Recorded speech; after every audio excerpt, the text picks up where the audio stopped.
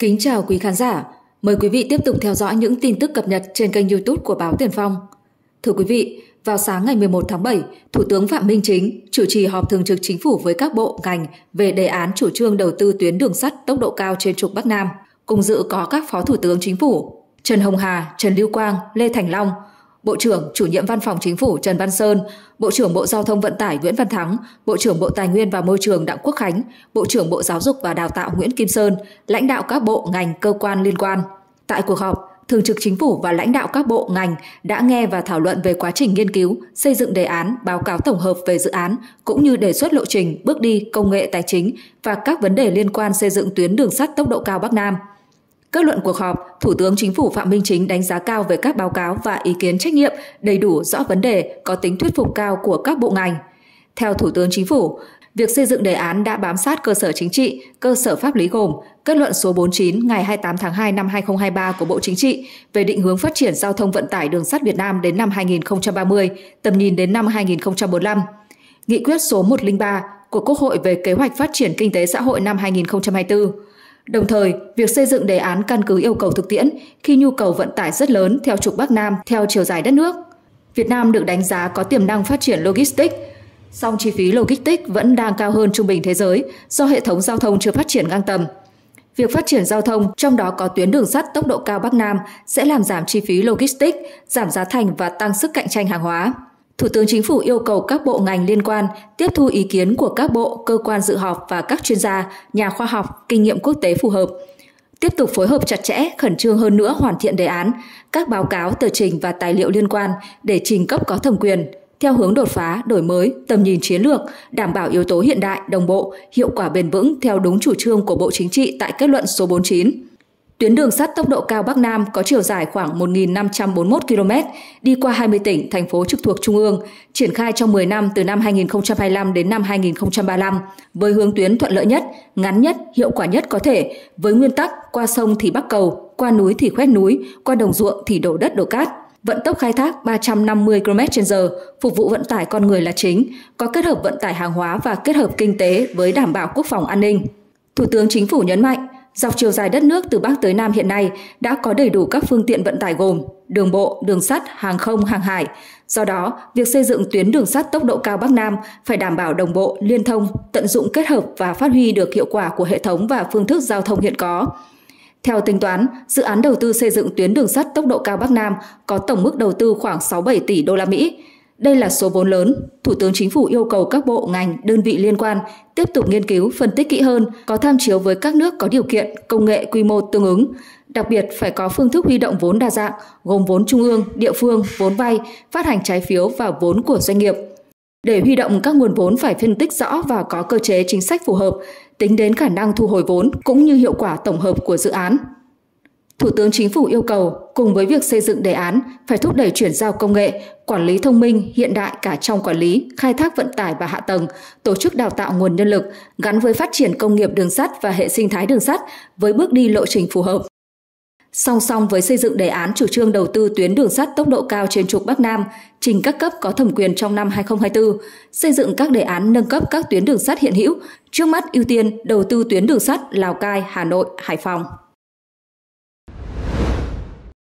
Thưa quý vị, chiều ngày 25 tháng 6, tại thành phố Đại Liên, tỉnh Liêu Ninh, Trung Quốc, Thủ tướng Chính phủ Phạm Minh Chính tiếp ông Lâu Tế Lương, Chủ tịch Hội đồng Quản trị kiêm Tổng Giám đốc Tập đoàn Thông tin Tín hiệu Đường sắt Trung Quốc CRSC. Tại buổi gặp, Bộ trưởng Giao thông Vận tải Nguyễn Văn Thắng cho biết, theo kế hoạch, Việt Nam phát triển hệ thống đường sắt cao tốc Bắc Nam dài hơn 1.500 km, dự kiến triển khai trước năm 2030, cụ thể vào giai đoạn 2026-2027 để triển khai, ông cho hay Việt Nam muốn hợp tác với Trung Quốc về lĩnh vực đường sắt, toa xe và tín hiệu. Thời gian Việt Nam triển khai đường sắt cao tốc Bắc Nam Việt Nam đặt mục tiêu đến năm 2025 có 3.000 km đường sắt cao tốc và tăng lên 5.000 km vào năm 2030. Hạ tầng đường sắt, nhất là dự án đầu tư đường sắt cao tốc Bắc Nam sẽ được đầu tư nhằm hoàn thiện mạng lưới vận tải đa phương thức, nâng cao năng lực cạnh tranh quốc gia. Cuối tháng 11 năm 2023, Bộ Giao thông Vận tải đã xin ý kiến về 3 kịch bản đường sắt Bắc Nam, trong đó có hai kịch bản tàu tốc độ 350 km/h, chở khách riêng và dự phòng chở hàng. theo quy hoạch tổng thể quốc gia thời kỳ 2021-2030, tầm nhìn đến năm 2050 và quy hoạch mạng lưới đường sắt thời kỳ 2021-2030, tầm nhìn đến năm 2050, tuyến đường sắt cao tốc trên trục Bắc Nam có quy mô đường đôi, khổ 1.435 mm với chiều dài khoảng 1.545 km, lộ trình đầu tư trước năm 2030. Trong văn bản góp ý dự thảo về đề án, Bộ trưởng Bộ Xây dựng Nguyễn Thanh Nghị lựa chọn kịch bản số 3. Tuy nhiên, dự án có chiều dài 1.545 km đi qua 20 tỉnh, thành phố trực thuộc Trung ương, trong đó các địa phương đang trong quá trình lập, phê duyệt quy hoạch vùng, quy hoạch tỉnh và các đồ án quy hoạch xây dựng. Vì vậy, Bộ Xây dựng đề nghị Bộ Giao thông Vận tải phối hợp với các địa phương có dự án chạy qua để giữ nguyên thỏa thuận hướng tuyến, tránh phải điều chỉnh hướng tuyến làm phát sinh chi phí đầu tư. Bộ Xây dựng cũng lưu ý Bộ Giao thông Vận tải cần bổ sung các căn cứ pháp lý để đề xuất sơ bộ tổng vốn đầu tư. Xem xét tốc độ hợp lý đường sắt tốc độ cao Bắc Nam. Các chuyên gia cho rằng phát triển đường sắt tốc độ cao Bắc Nam phải đồng bộ, hiện đại, phù hợp với xu thế của thế giới, tốc độ thiết kế gần đạt 350 km/h. Nếu đạt tốc độ này, thời gian từ thành phố Hồ Chí Minh đi Hà Nội dài 1.730 km chỉ mất gần 5 giờ. Đầu tư đường sắt tốc độ cao liên quan tới lợi ích quốc gia, dân tộc nên không thể chậm trễ mà cần có quyết tâm chính trị mạnh mẽ thực hiện. Do vậy, cần đẩy nhanh tiến độ xây dựng hai tuyến đường sắt cao tốc chiến lược nêu trên. Tại phiên họp thứ hai của Ban chỉ đạo xây dựng, thực hiện đề án chủ trương đầu tư xây dựng đường sắt tốc độ cao Bắc Nam và các dự án đường sắt quan trọng quốc gia, Bộ Giao thông Vận tải đã báo cáo phương án thiết kế đường sắt tốc độ cao. Theo đó, Bộ Giao thông Vận tải đề xuất đầu tư tuyến đường sắt tốc độ cao Bắc Nam với tốc độ thiết kế 3.500 km/h, vận tải hành khách và hàng hóa khi có nhu cầu, còn tuyến đường sắt hiện hữu sẽ chuyển sang phục vụ vận tải hàng hóa. Phó giáo sư tiến sĩ Trần Trùng, Chủ tịch Hiệp hội các nhà đầu tư công trình giao thông đường bộ Việt Nam, ủng hộ quan điểm lựa chọn phương án tốc độ thiết kế tàu chạy 350 km/h, cho rằng Việt Nam cần đi tắt đón đầu trong đầu tư dự án đường sắt tốc độ cao. Theo ông, việc xây dựng luôn đường sắt tốc độ 350 km/h nằm trong mục tiêu tiến tới net zero, cam kết đạt mức phát thải dòng bằng không vào năm 2050. Bên cạnh đó, ông cho rằng muốn đường sắt cạnh tranh với hàng không, nếu chọn phương án tàu chạy 350 km/h đi từ Hà Nội vào thành phố Hồ Chí Minh chỉ hết khoảng 5,5 giờ, hành khách sẽ lựa chọn đường sắt. Ở một góc độ khác, giáo sư tiến sĩ Lã Ngọc Khuê, nguyên thứ trưởng Bộ Giao thông Vận tải cho rằng nên chọn tuyến làm đường sắt tốc độ cao trên dưới 200 km/h để vừa chở khách vừa chở hàng. Nếu tốc độ cao không thể vừa chở khách vừa chở hàng, trường hợp muốn chở cả khách và hàng phải giảm tốc độ khiến năng lực thông quan giảm. Trước đó, Bộ Chính trị đã ban hành kết luận số 49 về định hướng phát triển giao thông vận tải đường sắt Việt Nam đến năm 2030, tầm nhìn đến năm 2045 xác định vận tải đường sắt đóng vai trò chủ đạo trên hành lang kinh tế Bắc Nam và đặt mục tiêu đến năm 2025 phấn đấu hoàn thành phê duyệt chủ trương đầu tư dự án đường sắt tốc độ cao Bắc Nam.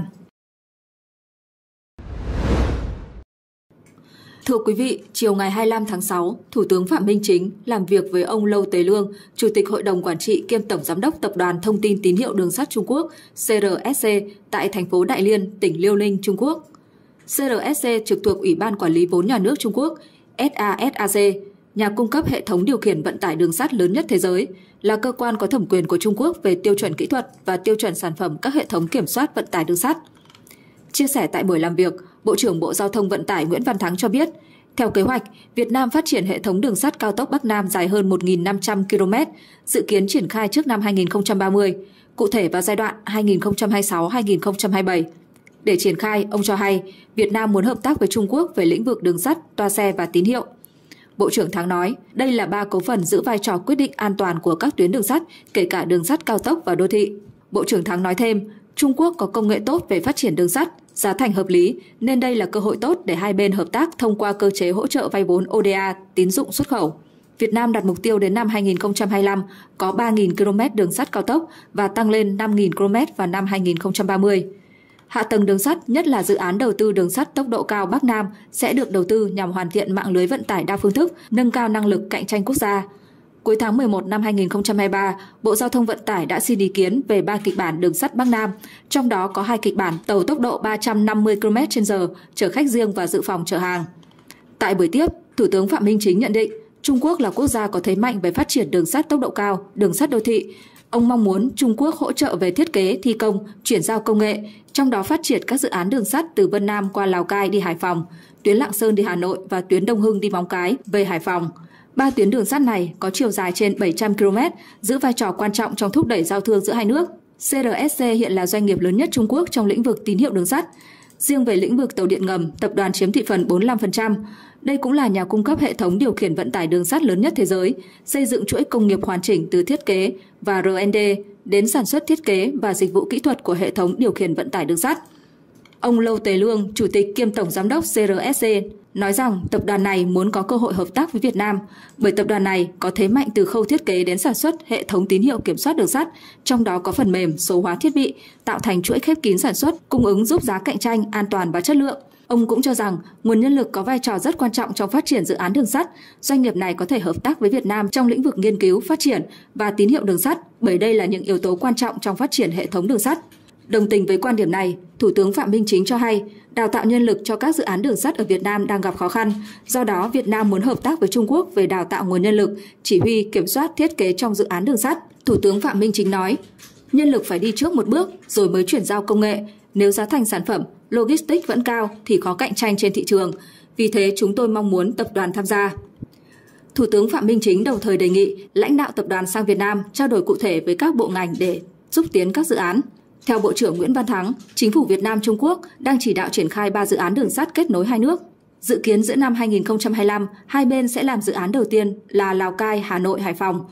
Bộ trưởng Bộ Giao thông Vận tải cũng gợi mở hướng hợp tác các dự án đường sắt khổ tiêu chuẩn, kết nối cảng biển tới các khu kinh tế, khu công nghiệp, sân bay và cửa khẩu. Theo ông, đây là các dự án có hiệu quả kinh tế cao, nên ngoài dự án do nhà nước rót vốn, Việt Nam cũng kêu gọi các doanh nghiệp như CRSC tham gia đầu tư qua hình thức đối tác công tư. Tập đoàn CRSC hoạt động tại hơn 20 quốc gia và khu vực, bao gồm dự án Jakarta Bandung, HRS tại Indonesia, đường sắt Hungary Serbia và đường sắt Trung Quốc Lào. Nhộn nhịp công trường cao tốc Bắc Nam đoạn qua Hà Tĩnh